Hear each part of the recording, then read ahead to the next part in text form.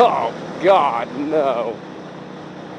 Oh, man, is there... Dude. Look at this truck. That's all coming from this exhaust pipe.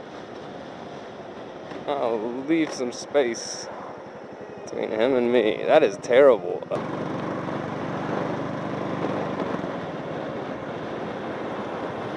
What's up, Shouty? Uh, rip, rip. Getting it like Dale Jr., boy. Look at that ghetto sled. Alright. Rims cost more than a car. That was a fun ride. Willie Nelson.